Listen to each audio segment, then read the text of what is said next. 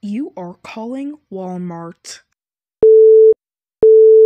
I miss some Miss Peters.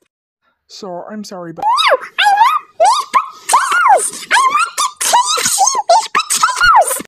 Sir, we are not a KFC. We are a Walmart.